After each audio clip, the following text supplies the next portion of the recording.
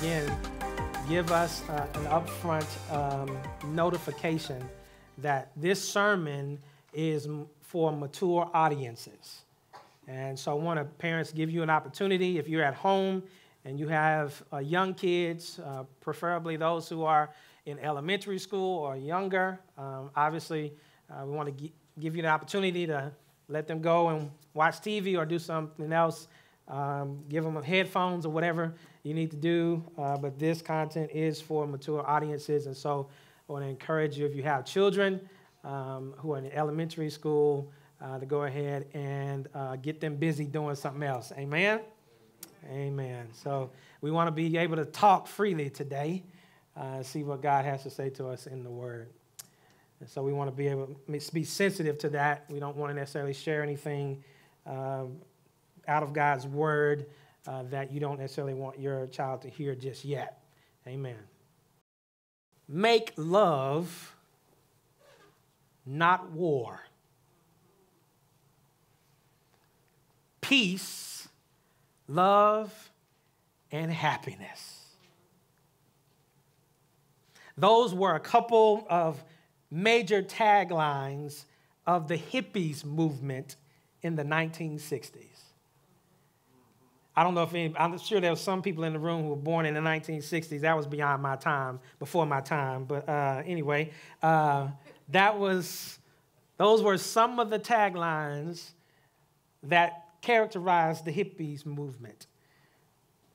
These hippies, these flower children, were not just about self expression and sporting flared pants or what we call bell bottoms they were not just about sporting psychedelic colors and peace signs and sporting long hair and beards. Though they didn't necessarily see themselves as political activists, they did oppose the Vietnam War. They opposed government authority and they opposed middle class values at that day and of that day. They organized themselves and they put on nonviolent anti war protests and marches. And they had uh, the biggest, before there was a Fyre Festival, which was a,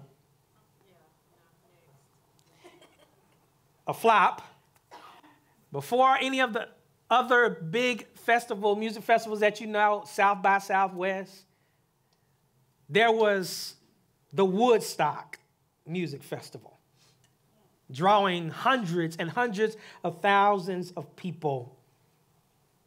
They would gather together and listen uh, to music, and other things would take place during the festival. But there was another slogan, Chris, that characterized uh, this hippie movement. And it went like this If it feels good, do it. This philosophy or way of thinking not only manifested itself in rampant drug usage, it also showed up, hear this, in their embrace and promotion of sexual liberation. They called it free love. Free love meaning strictly and quite frankly having sex. That's what they meant by free love. And they were so bought into this idea of free love that they would say things like somebody even, even quipped about that time in history that free love meant that you could have sex with anyone, anytime, anywhere, without guilt or shame.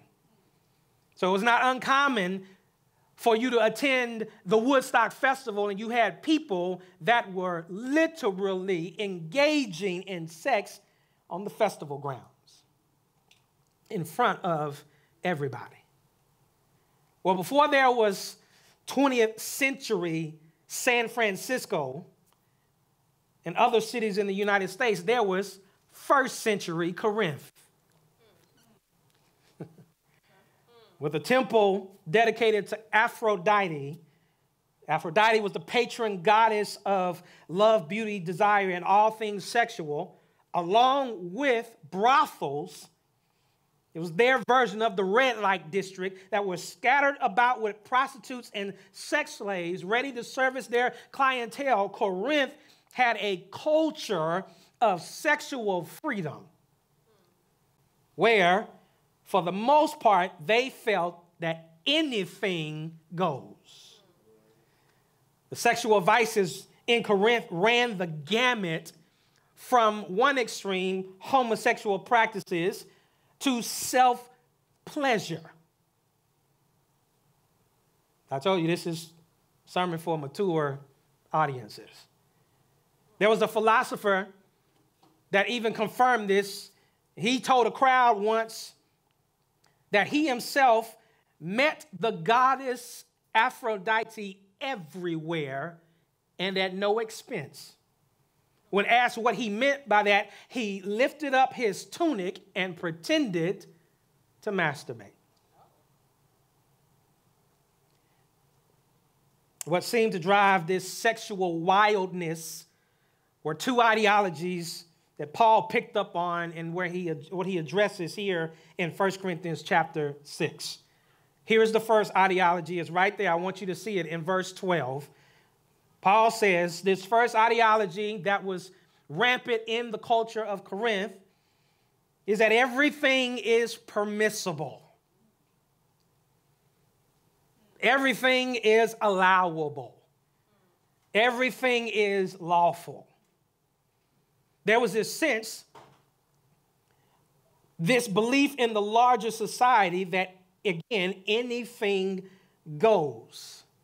That might be the mindset of the culture and what the culture encourages uh, me to embrace. But Paul says, watch what he says, but for, for me, everything is not helpful. Everything is not beneficial.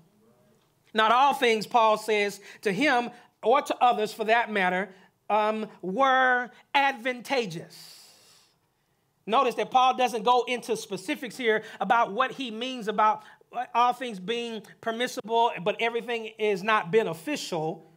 So I won't hang out there long in this particular verse. But life tends to bear out the truth of what Paul said here in relationship to sexual sin. Think about it with me. Sexual sin is not beneficial or profitable, for example, to our relationship with God.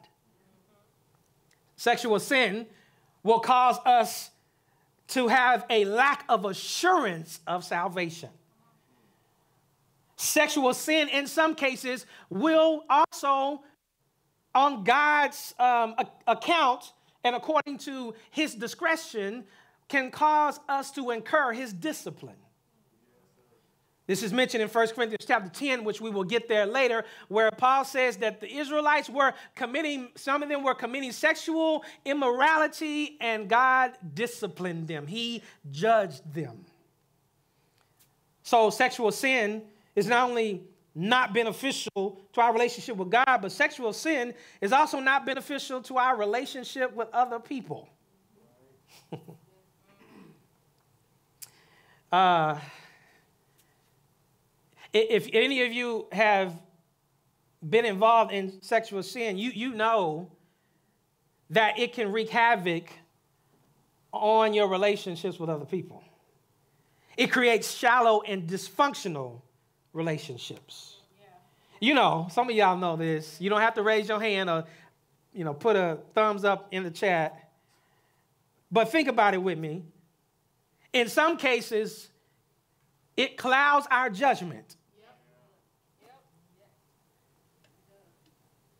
You have sex with a particular individual, and, and, and, people see things about this individual, but you find it hard to believe it. And the reason you find it hard to believe is because you don't see nothing wrong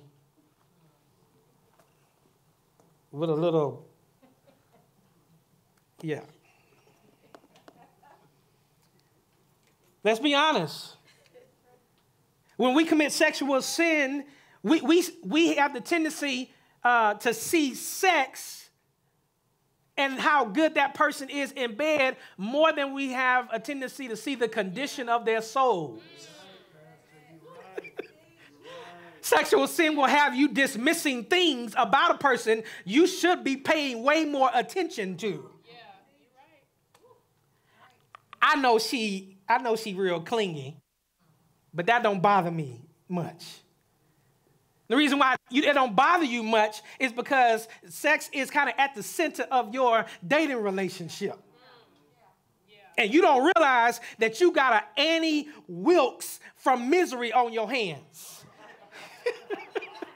You're gonna end up tied up to a bed with a two by four on your ankles, and she's gonna be sledgehammering your breaking your ankles apart. But you don't, you ain't even concerned about that. You in the house, you walk right past the sledgehammer, walk right past the two by four or the four by four, all because you headed to that bed.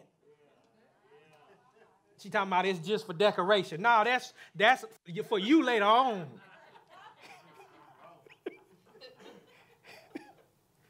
I know, I know he got serious anger issues, but that's just how men are.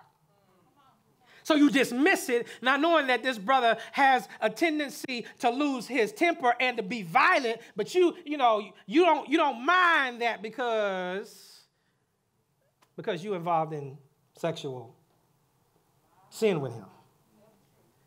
I mean, I know she is a jealous type, but that's really Tracy just because she's just a ride or die chick. No, no, no. You, you just can't see it because your judgment is cloudy because sex is clouding your vision. You used to have you you had you you had better discernment than that, but but but sex has a way of dulling and nulling your discernment. I know he is a bit controlling, but that's just because he loved me. No, you just can't see it. Or you refuse to see it. Because he, he knows how he knows he knows how to please you. Yeah. Yeah. But sexual sin is not only not beneficial to our relationship with God, not only is it not beneficial to our relationship with others, it is also not beneficial to, in relationship to our own lives. Some of us know this, and thank God He is a redeemer, and thank God He forgives, and thank God He restores. But there have been occasions where God has allowed some of us our consequences to catch up with us. Hmm. Yeah. We've committed sexual sin, and there was deferred dreams that we, we, could, we were involved in sexually uh, immorality and, and it, it denied some dreams. Maybe there was an unplanned pregnancy and things happened where you were going to go to that college, but no more. At least not at this moment in your life. And yes, thank God he is gracious. And thank God he is he he is he's a restorer. And, and you went to college later on, but but but there could have been some things that could have been prevented. You you could have gotten that done and over with. Thank God we don't have to necessarily live in regret, but listen, we need to we need to encourage our young people to say, listen, listen, this thing is not beneficial to you. Yes. Not only that, for some of us, we contracted STDs. And we don't tell nobody. You ain't got to say nothing. But you know what happened. Ooh, it went quiet right there. Just, I mean, you can. Like my dad used to say, y'all, he was from Bunkie, so don't, don't get offensive. He said, ah, you can hear a rat peeing on cotton right there. You can hear a rat peeing on cotton. Not only Jackie, are all things not beneficial or helpful? Paul said, also said in relationship to this idea that all things are lawful and permissible. He also said to that idea that all things are lawful and permissible. Watch, watch what he says. Still in verse 12. But I will not be brought under the control of anything. He said, I will not be dominated by anything. Suffice it to say, again, not going to hang out too much here because Paul doesn't go into any detail, but he suffice it to say, sexual sin tends to degenerate into bondage or addiction. Sexual sin doesn't simply want to partner with you in the fulfillment of your sexual desires, it desires to make you its slave. And with sexual sin as your master, there is no telling what depths of depravity, deception, destruction, dysfunction, de- depression, and dissatisfaction, dissatisfaction it will take you to. Hmm. Oh, come on, y'all. Think when you, for those of y'all that were, are watching online or in the building, when you, when you, this was your struggle, and when you were involved in sexual immorality and you were really involved in that thing, it led you to some dark places spiritually. Yeah. Depressed, yeah. destroyed some things in your life, dissatisfied. You, you had this aching thing in your heart. Things just never were right yeah. in your life. Here's the second ideology. Let me, let me hurry. Here's the second ideology. The first ideology, Paul says right there in verse 12, everything is permissible. But here's the second ideology that drove sexual wildness in, the, in Corinth. Verse 13. Food is for the stomach, and the stomach for food. And, and God, excuse me, will destroy or abolish both one and the other. Now, in your translation, if you have this particular translation, some translations place quotations around food is for the stomach and close the quotation at the stomach is for food. But I believe the New English translation is right in extending it to include the last phrase. For God, for food is, is for the stomach, and the stomach for food, and God will destroy and abolish both one and the other. See, the Corinthians saw sex and the body as they did food and the stomach. They saw both of those things, sex and the body, food and stomach, as natural and necessary parts of life that did not take away from its quality, but rather added to it. To deny yourself, they would, Corinthian culture would believe, to deny yourself of sexual gratification was in actuality, they would say, a detriment to your life. It's damaging, it's unhealthy, they would say, for you to suppress sexual gratification. Doesn't that sound familiar? That don't just sound like Corinthian culture, that sounds like American culture. And they would add to that, watch this, and because God will destroy both anyway, meaning that God will bring both of them to an end in death, there is nothing beyond death that involves our physical bodies. Because that's what some believed, and even some in the church believed that because they didn't believe that there was a bodily resurrection that we'll talk about in 1 Corinthians chapter 15. That they didn't believe that there was a, some people didn't believe, even Christians, some Christians didn't believe that there was a bodily resurrection. So if if if this life is all that there is and God's gonna bring this thing to an end anyway, they would say, then there is no real eternal consequence to sexual sin. So have at it because there is no consequence to sin. There is no afterlife in terms of physical existence. Yet They would say your soul is what is going to heaven, not your body. So, so have at it. Isn't it sadly amazing? The lengths we will go to yeah. to twist and exploit theology to justify our sin. Y'all need to let that marinate. But God will destroy this both in the end. So what's the what's what's the big what's the big deal?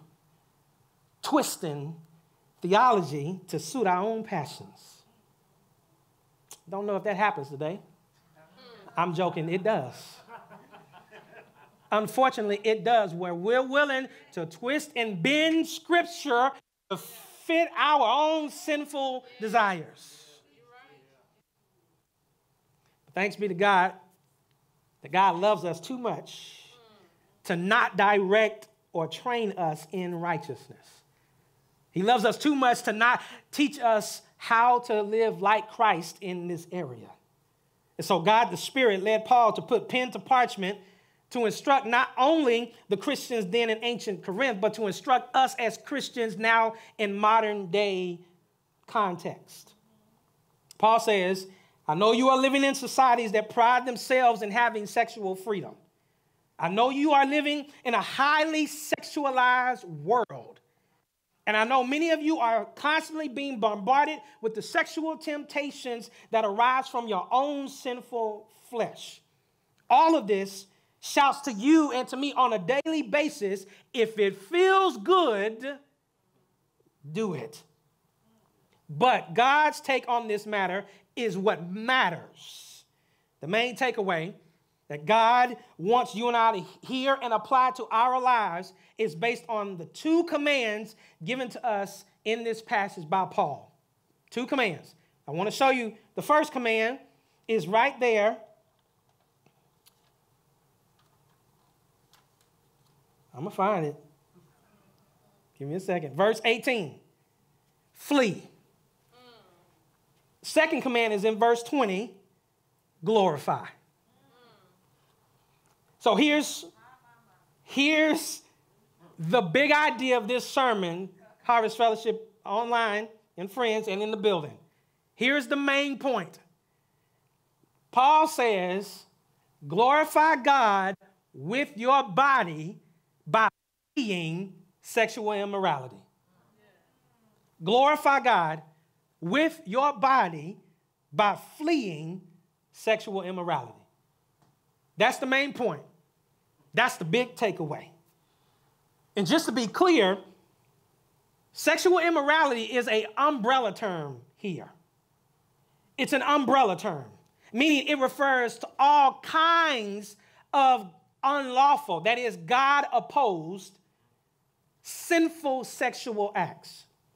The list I am about to share with you in just a few seconds is not meant to be crude, but to give clarity to us on what God is talking about here through the Apostle Paul when he says, flee sexual immorality. Y'all ready? Consensual sex before marriage is sexual immorality. Tune in. Don't, don't, you, don't you log off. Stay right here. Don't y'all, don't turn it. Come on, stay right here. Because we need to hear God's word on the matter because the culture is telling us um, they, they, have a competing uh, uh, base that they are, they are promoting and a platform that they are promoting things that are anti God. Yeah. So we need to be clear. Truth is truth. Hear me. I need to say this to somebody, regardless of what your experience is. Yes, or what your past experience was. And watch this. This is not about condemning you, because some of you all want to turn off and you may be feeling a sense of, um, of lingering shame over repentant sin. This is not, this is not what this is. This is not to condemn you in that way. This is not to shame you. And, and when you have repented of this and God has forgiven you of these type of sins, but we still have to set the standard as God's truth. We don't change God's truth just because our experience may have been different than that or have been um, engaged in sexual sin in our past. So, consensual sex before marriage, what, what the old church used to call fornication, yeah. premarital sex is sinful. Sex outside of your marriage, yeah. adultery, is sinful. You can call it an entanglement. You can call it whatever you want. But sex outside of your marriage, if you are married or when you do get married, is sinful. Molestation is sinful. Child molestation is sinful. Rape is sinful. Indecent exposure is sinful. This, this hits me because this was in my past right here, not indecent exposure, not that piece. Watch out, hold it now. Wait a minute. I ain't gonna put all my business out there. Wait a minute. I never did that. But um, now, now, and I'm not saying that's not to not to puff me up, because this is where I sexual dancing. Uh, don't don't look at me like that, because in my come on, y'all, in my in my generation, bumping and grinding, gyrating, grooving up on freaking is what some people called it. Come on, it's mature. Don't y'all look at me like, don't you look at me like you know exactly what I was talking about. Yeah, all that. all of that. It's, it's sinful. I mean, come on, y'all, think with me. I'm not trying to camp out here too long, but think with me. It, it, it produces and induces lust in the heart. It is, it is sex on the dance floor. That's why they called it in, in the older generation dirty dancing. Say what you want. If you accept the truth. Here it is. Here's another one self pleasure while watching pornography, sexting homosexuality, lesbianism, bisexual, bisexuality, same sex relationships, and same sex marriages. Sinful. Sinful. Listen, listen that we, can, we can still love people, but it doesn't change the truth of God's word. It's sinful. And by the way, people will tell you that well, there was this was a different thing going on in Corinth, right? Right, Chris? They'll try to they'll try to they'll try to uh, combat this. They'll try to say, well, this was just really about um, uh, older men who were who were taking advantage of younger boys. No, no, no, no, no, no, no, no. There, there were there were there were adult men and adult women who were doing these things. Prostitution. And this, this next one is connected to prostitution. I understand that some women um, are sex trafficked into that. All of that is sinful. Porn industry, sinful. Do y'all know, some of y'all know, do you know that sex trafficking oftentimes is the underground railroad into the porn industry? Brothers, and sisters, this is one of the reasons why we are we we call you as for, for a Christian brother and a Christian sister, why we call you to repent of watching that pornography. Not only is it a sin against God, but you're funding, you're you're you're supporting inadvertently, indirectly, the sex trafficking black market. Because oftentimes there are women who've been put into that porn industry who have been taken, been kidnapped, and they are forced into that industry. They are sex slaves. Strip club dancing. Rat ran across the, and he, he over there doing number one on cotton, right? Right there. Come on, y'all. Let's be. What? I don't, y'all grown. Come on. You think God gonna endorse? You think He endorsed? You think He? You think He? He smiles? You think He gives a thumbs up? You think He gives hearts and emojis to that? No, no. That too, oftentimes is can be a funnel that you know that comes out of sex trafficking. Oral sex. You know, there was a part in my generation where, where there were Christians who were trying to justify or trying to say that it was if if if they did oral sex that it really it wasn't it wasn't fornication. That that that because we didn't do it the, the regular way, the normal way in terms of having sex, in terms of intercourse, that somehow that that they can do oral and it be okay with God. No. It's sinful. And even to the extreme of bestiality is sinful. In verses 13b through 20, as we kind of move to the body of this sermon, I want to give you four major truths that help us understand why we should glorify God with our bodies by fleeing, fleeing sexual immorality. And Paul wants to, you, that's, a, that's a good parent, right? A good parent not only tells your child what they should not do, but, but explains and gives them reasons for why they should not do it. I want you to see these. Number one, our bodies are for the Lord, not for sexual immorality. Verse 13, Paul says, look what there, look there with me. But God will do away with them both. The body is not for sexual immorality, but for the Lord, and the Lord for the body. First major truth. Again, our bodies are for the Lord, not for sexual immorality. It's my body, though. I should be able to do what I please with my body. Anybody heard that before? Yeah. That is the world's mantra. Yeah. My body's my business. What I do with my body is up to me. That's none of your business, and that's none of God's business. As believers, our mantra is a biblical one which says different. Our mantra is My body is under the lordship of Jesus, and I will do with it what pleases him. Notice, look at the verse with me. The body is not for sexual immorality, verse 13. But watch this, watch Paul's terminology, but for the Lord. Yeah. Do you see? Our bodies as Christians comes under the lordship of Jesus, and we are told by Paul that therefore then we need to do with our bodies what pleases Jesus. Not what pleases ourselves, and not what pleases those around us, not what pleases your other single friends, not with your other single friends or your other, other friends think about, you know, your life and what you should do. Our focus should be on making sure that we submit our bodies to the Lord.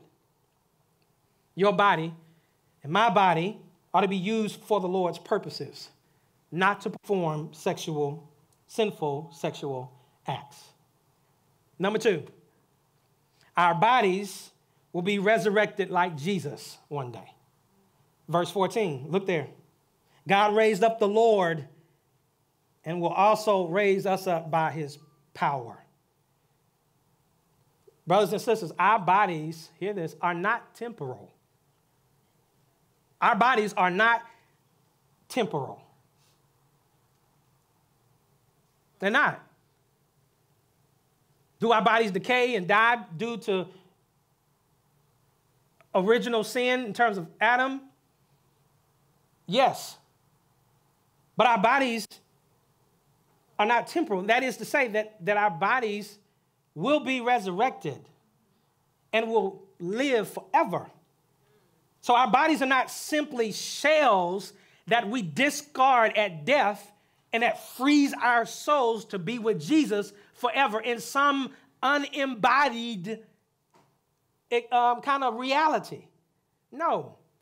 To be human hear this, is to have both a soul and a body. Come on, come on, come on, Christians. Think. Think with me. Go back in your mind to Genesis. God says he, he out of the dust formed man. And he breathed into him a breath, the breath of life, and man became a living being. To be human is to be both soul and body. We are not just a soul that's trapped in a body that will one day discard this shell, and then our souls will go to be with Jesus in this kind of, you know, ephemeral, whatever kind of existence that there is just a total bodiless state. No. We are embodied creations of God made in his image, and our physical mortal bodies will be transformed into glorified, resurrected, immortal bodies in which we will live forever in the presence of God.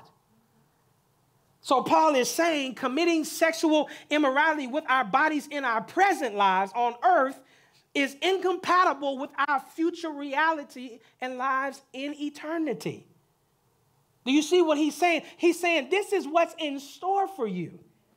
You're going to be in a glorified, perfect body. This is what's true of you and what will be true of you in the future. So to live this kind of uh, in sexual sin in disregard of the body and doing things that Jesus doesn't want you to do is incompatible with how your life is going to be and my life is going to be in eternity. So we're going to be resurrected one day, just like Jesus. And so, what we will be in heaven, we need to live in concert with that while we're here on earth. That if we're going to be in heaven and we're going to be embodied with glorified bodies and we're not going to be sinning and have sin in heaven and be um, away from the presence of sin, then Paul says we need to strive to live out that reality here on earth in the present. Here's the third point.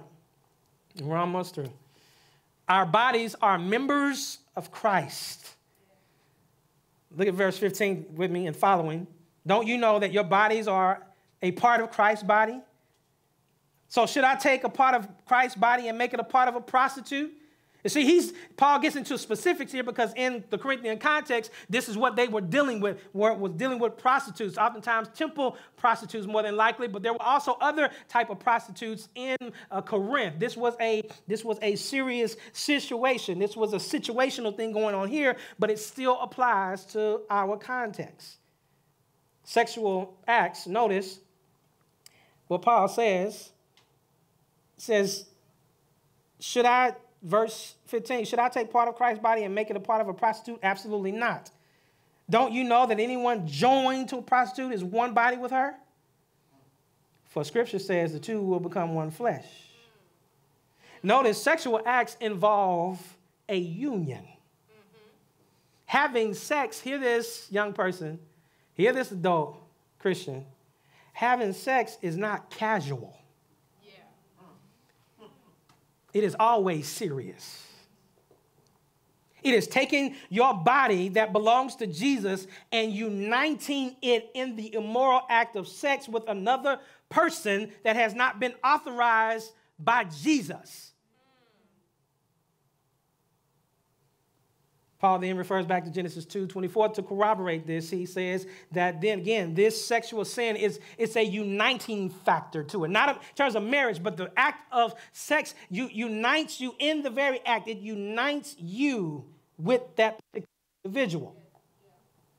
As one commentator said, a believer belongs body, soul, and spirit only to the one Lord, and any unholy union with anyone else is a betrayal of our union with Christ.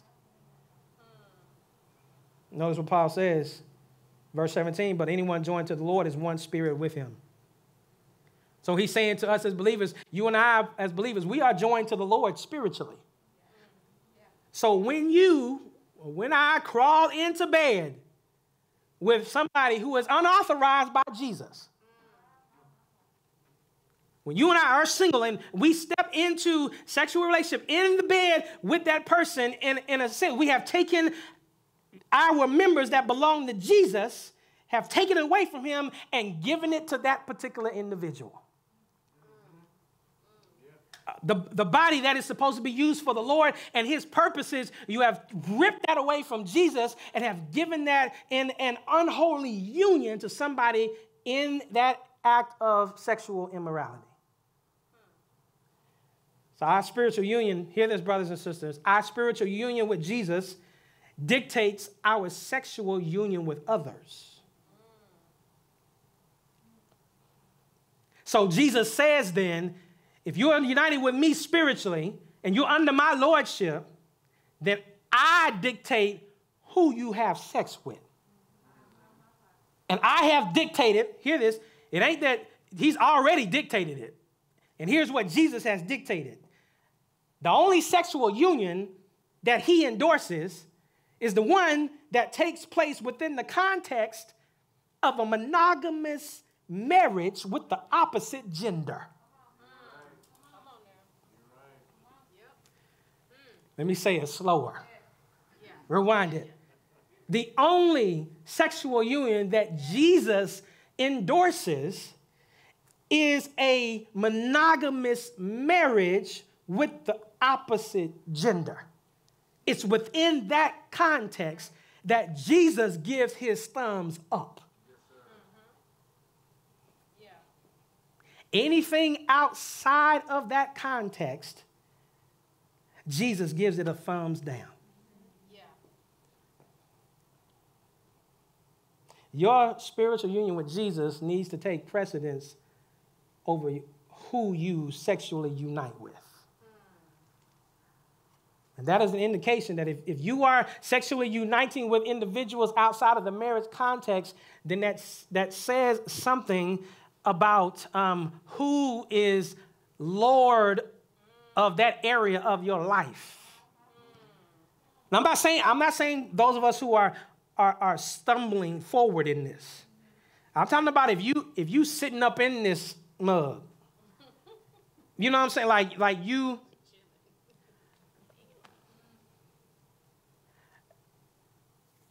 you you you just you you arms crossed. Let me take a seat in sexual immorality. And you're saying i know what jesus said. However the lord knows my heart. He gave me these sexual desires. He wouldn't want me to be frustrated and have pent up sexual frustration so I'm just going to go ahead and do, I'm going to go ahead and relieve myself. And then I, I ask for forgiveness later. After I'm done, then I'll say I'm sorry, but then, you know, tomorrow I'm, I'm going to answer the text and come over and we're just going to do it all over again. Do you, do you see the point? Not saying that a person is not saved. I, don't know what the condition of that of your salvation, but what it is saying is that at the very least, Jesus, you are not allowing him to lead you in that area of your life. Because if he's leading you, Jesus will always lead you into marriage. Yeah. Hear me, somebody into marriage with another believer so that not only for this sole purpose, but as a benefit so that you can experience the joy of that sexual union and have his smile on you.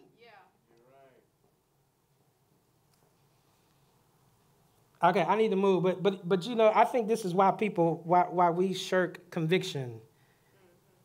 Why, why we shirk this is because we know God is frowning so, so we try to we try to do gymnastics, gymnastics to, to, to, to kind of get out of the way of, of God's conviction that's, that's coming to us. And so we'll do hermeneutical gymnastics. We'll interpret the Bible in a certain way and be like, well, you know, I mean, marriage is, I mean, it's just, I mean, if I'm married in my heart, what's, what's the real, what's the purpose? I mean, I am, what if I think I'm married? What, what if, you know, but we ain't really actually married, but, you know, I mean, we've been together for so long, we might as well be married. And we, we do, we do, we do cartwheels and, you know, all that stuff to try to get around the fact that Jesus does not endorse this. So, John MacArthur, in his commentary on 1 Corinthians, says about Paul's statement in verse 18 where Paul says, every sin a person can commit is outside the body. On the contrary, the person who is sexually immoral sins against his own body. He says here about this verse that I believe he is saying, speaking of Paul, that although sexual sin is not necessarily the worst sin, it is the most unique in its character. It rises from within the body bent on personal gratification. It drives like no other impulse, and when fulfilled, affects the body like no other sin. It has a way of internally destroying a person that no other sin has. Because sexual intimacy is the deepest uniting of two persons, its misuse corrupts on the deepest human level. Fourth and finally, Paul says the reason why you need to glorify God by fleeing sexual immorality is in verse 19. Your body is the temple of the Holy Spirit. Your body, my body, is the temple of God the Holy Spirit. So, a Louisiana priest was arrested a couple of days ago for allegedly filming himself having sex with two women on the altar at a Catholic church.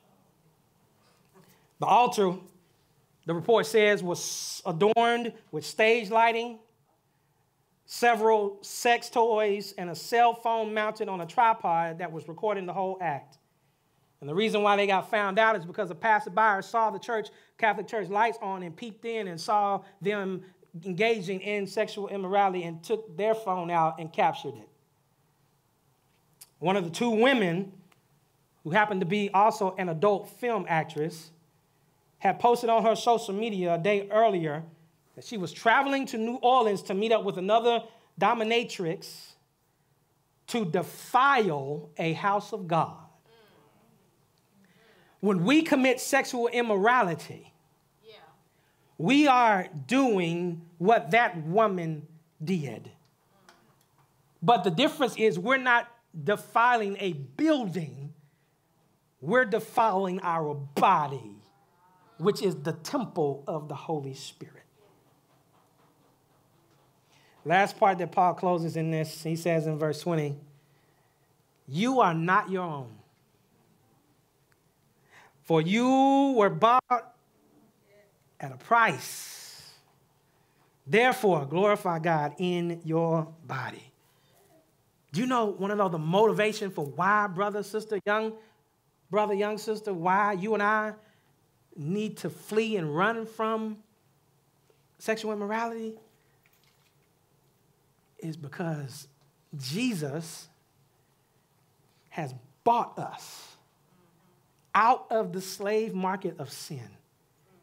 He has redeemed us by his own precious blood. He paid a price, his life.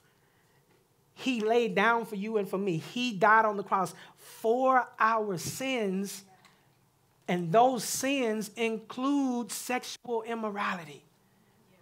He died for that sin so that you and I can be forgiven by God, praise God, for the sexual immorality, immoral, immoral acts that we have committed.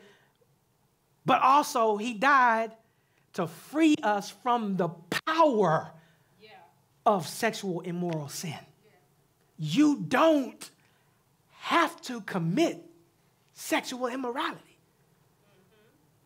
Because the Holy Spirit is in you, and Jesus has freed you to be able to live sexually pure and to progress towards that and to repent of sexual sin if and when you commit it. Peter says, and if you call on him as Father, who judges impartially according to each one's deeds. Conduct yourselves with fear throughout the time of your exile, knowing that you were ransomed from the futile ways inherited from your forefathers, not with perishable things such as silver or gold, but with the precious blood of Christ, like that of a lamb without blemish or spot. So that's the call this, this morning from Paul is when it comes to sexual immorality, single, married, dating, whatever the case is, Paul says to us as Christians glorify God with your body by fleeing from sexual immorality. Some of us have been some of us have been walking trying to walk away from sexual immorality looking back at it.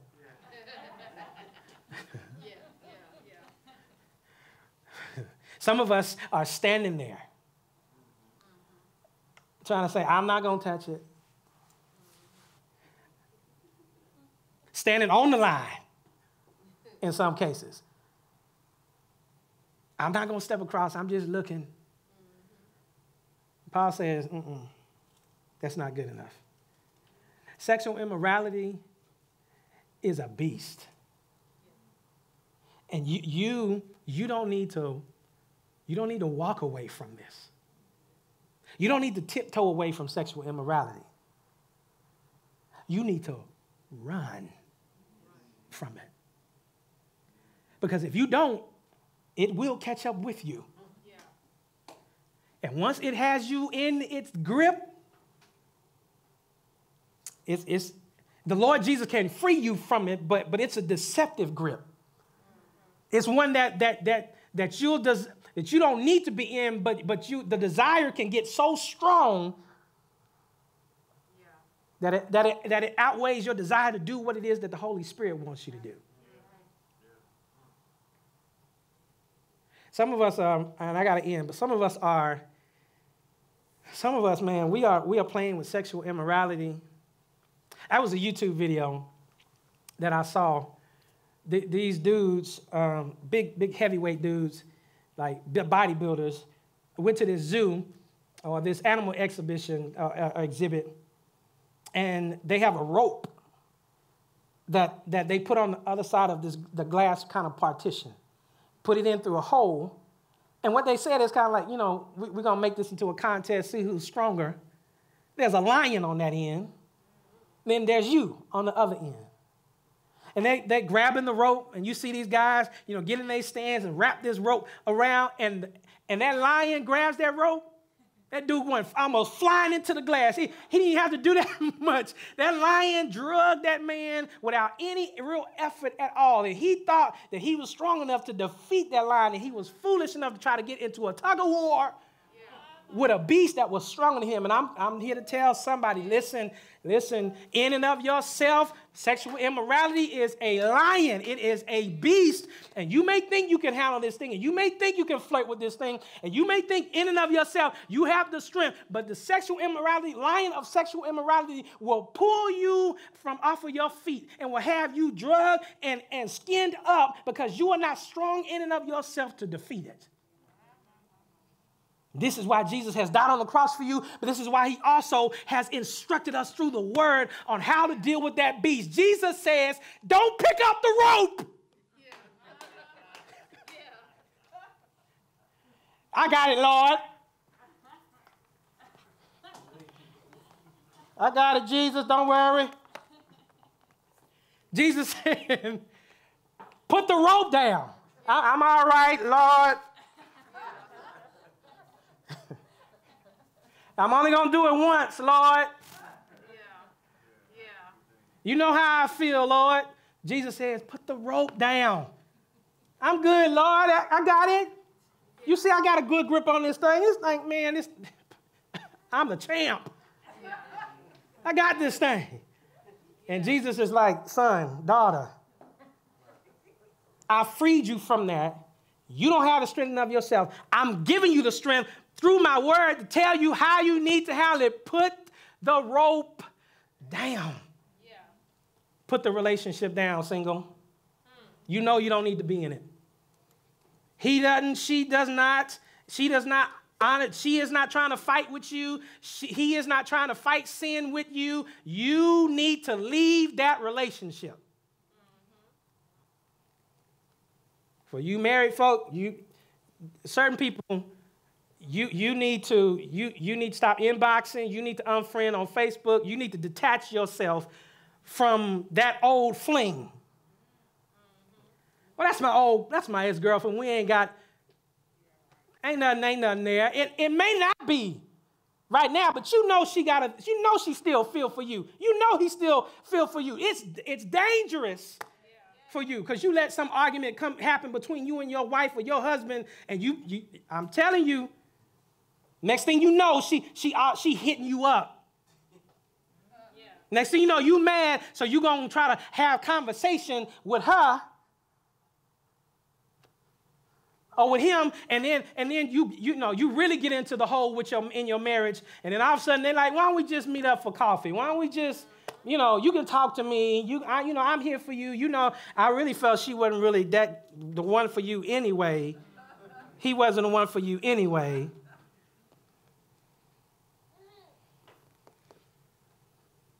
Single, put the rope down. Flee from sexual immorality. And the bigger thing is why? Because this is how you honor God. If you want to honor God with your body in relationship to this, flee from it. Yeah. That brings honor to God. That brings honor to your Savior. That says to your Savior, Thank you for the price you paid for my sin. And the way that I'm going to show you gratitude is that I am going to put the rope down. I'm going to flee from sexual immorality. Because after all, the, the, ple- the, the, the pleasure and the fullness and the satisfaction that I get from you can't be compared to, yeah. the, to the temporal satisfaction that I get when I commit sexual sin. But to have your joy and to have your peace, somebody ought to say, somebody know what I'm talking about. To, to have God's, God's peace, to know that you um, don't have to deal with, with guilt on a constant basis, and you don't have to deal with conviction on a constant basis. Nothing is better than that. Nothing is better than pleasing Jesus. Nothing is better than glorifying Him. Nothing is better than honoring Him in your sexuality.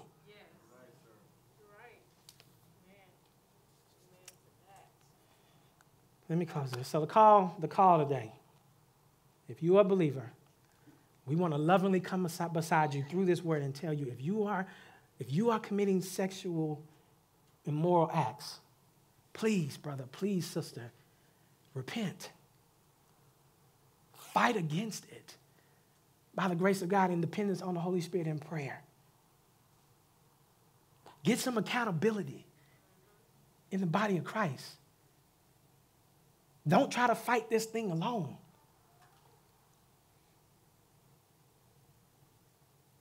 And for those of y'all that are that are you're walking in sexual purity, the encouragement to you is keep running. Yeah. keep running away from sexual immorality. Let's pray. Father, thank you for our time together. Lord, we pray that there's someone here, Father, who doesn't know you that you would um, you would turn the light on in their hearts. You would bring them to understand and to see your love for them in Jesus and their their need for Jesus and their sinfulness so that they can run to Jesus and be saved from their sin and from your just wrath against them. That they would do like we did one day by your grace, that we turned from our sin and trusted in Jesus. Will you help them? In that, Father, you told us in your in a couple of verses before that no sexual immoral person, no no person who's a thief, no no gossiper, no liar is going to inherit the kingdom of heaven. That is to say that nobody who is whose sin has not been dealt with through the cross of Jesus will enter into your kingdom. Doesn't mean we have to get ourselves right. It means that we have to come to Jesus and believe in Jesus who is the propitiation. He is the satisfaction of our sins, of your wrath against our sins. He has taken our sins upon himself and died for them on the cross. And that, that is the way that they are qualified to be in a right relationship with you, have eternal life with you. And so, Father, we pray that you would help them to do that, Lord, to, trust in you, Jesus, today for the forgiveness of their sins. We pray for the believer who's listening, who's been listening to this message who may be struggling with sexual immorality.